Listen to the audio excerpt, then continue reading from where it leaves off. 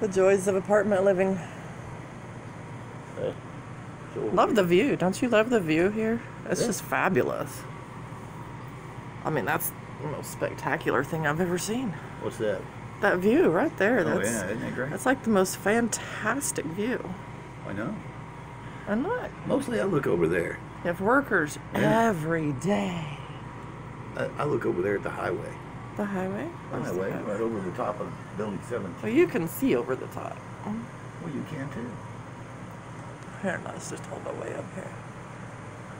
There, now they get the full effect. This is the view from the balcony. Penthouse suite, as we like to call it. The Lido deck. I like to call this the hood. now, I used to park right there where that little machine is. What is that machine again? A Bobcat. A bobcat.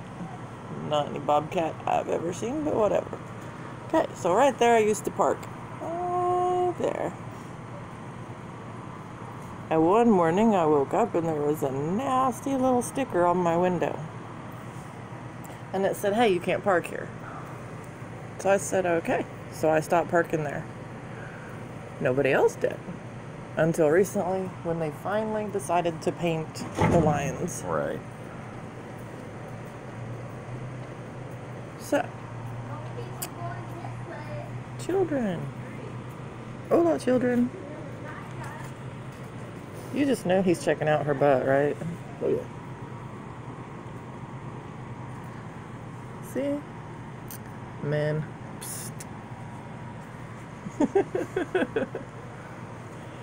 Okay, well, we're off to the woods. This sucks.